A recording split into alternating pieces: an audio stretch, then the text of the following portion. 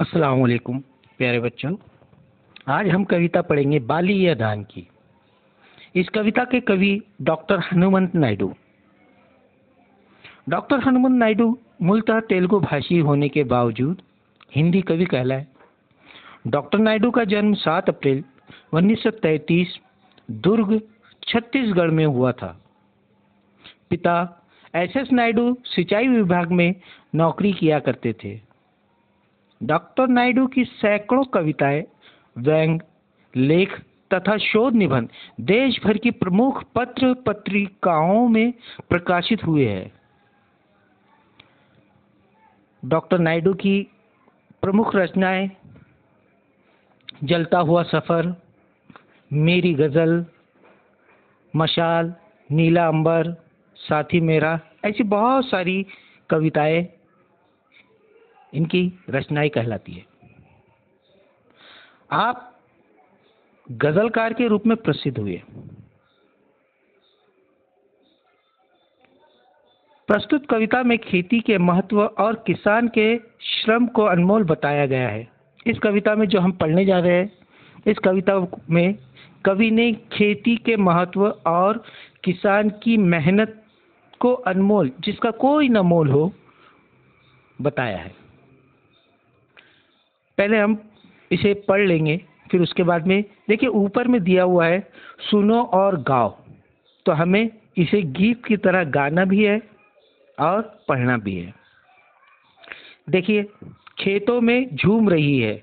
खेतों में, आप लोग जानते हैं, खेत जहाँ पे फ़सलें बोई जाती है और जिससे हमें धान मिलता है, उसे खेत कहते हैं। खेतों में झूम रही है बाली या धान की। बाली बाली का अर्थ होता है अंकुर, जहाँ पर धान के गुच्छे लगते हैं।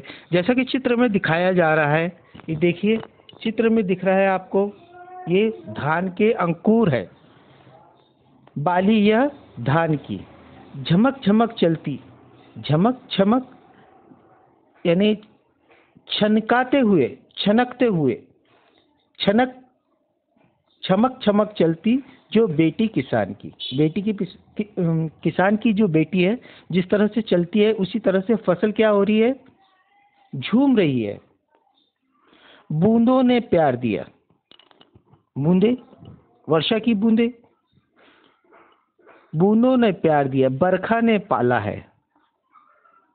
चंदा ने रूप दिया। सूरज रखवाला है। बरखा, यानी वर्षा, बारिश। और चंदा ने रूप दिया सूरज रखवाला है। सूरज रखवाला, यानी रक्षा करने वाला। फ़सलों को जो है, कीड़ों से जो रक्षण देता है, वो सूरज है। कीड़ों से। छाया है मंडप सी, नीले वितान की। वितान, यानी आकाश। छाया कैसी है? नीले। छाया है मंडप सी। मंडप कैसी होती है? मंडप के नीचे जाके थोड़ा अच्छा लगता है है ना? जैसी जब बादल छाते हैं तो तब बहुत अच्छा लगता है। ऐसा लगता है बारिश होने वाली है। तो कैसी है? छाया है मंडप सी, नीले वितान की, आकाश की छाया मंडप के समान है। खेतों में झूम रही है बाली यह धान की। खेतों में कौन झूम रहा है? बाली धान की। पेड़ों पर पंछी है। पंछी तो हम सभी जानते हैं, पंछी, हर वो पक्षी जो उड़ता है, उसे हम पंछी कहते हैं। पेड़ों पर पंछी है और वो पेड़ों पे ही रहते हैं। मेड़ों पर शोर है। मेड़ों पर शोर है। मेड़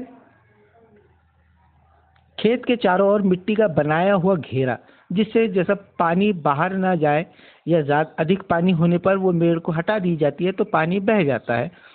और कम पानी में वो पानी वहीं पे रुका रहे, ठहरा रहा है इसलिए वहाँ पे मेड़ बनाई जाती है। पेड़ों पर पंछी है, मेड़ों पर शोर है, वंशी की तान लिए आती हर भोर है। भोर यानी सुबह, सवेरा। श्रम का यह मोती है, श्रम, जैसे कि हमने पहले बताया, श्रम यानी मेहनत।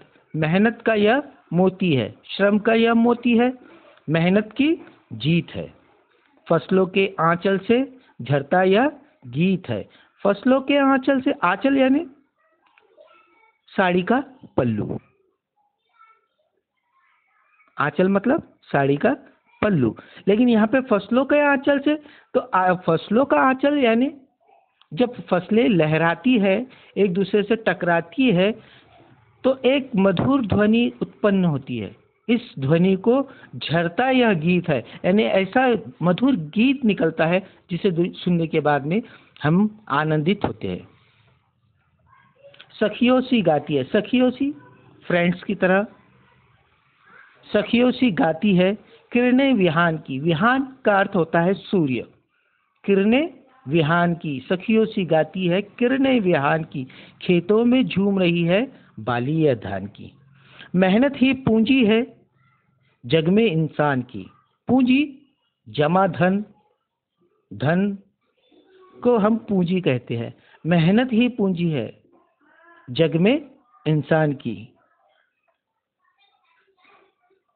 खेतों में झूम रही है बाली या धान की।